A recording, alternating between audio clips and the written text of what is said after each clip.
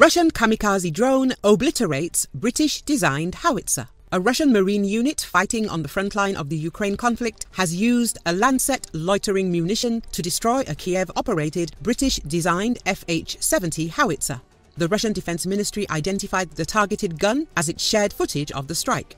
The attack was reportedly launched by the 336th Guards Naval Infantry Brigade, part of the Baltic Fleet of the Russian Navy.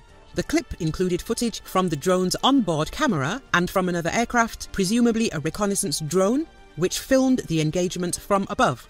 The hit appeared to detonate artillery shells stored at the site, hidden inside a windbreak. The video had been circulating on Russian military themed social media for several days before the ministry vouched for it. Some outlets suggested that the Lancet was of a newer model, equipped with a night vision sensor that older variants lacked.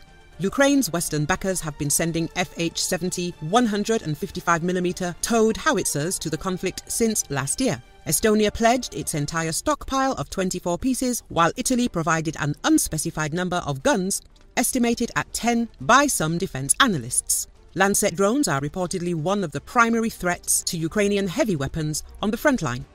The Kalashnikov produced system has a distinctive shape thanks to its two sets of X wings and comes in two principal versions with payloads weighing 1 and 3 kilograms respectively. Designer Zala Aero is said to be improving its products as it gets feedback from the conflict zone.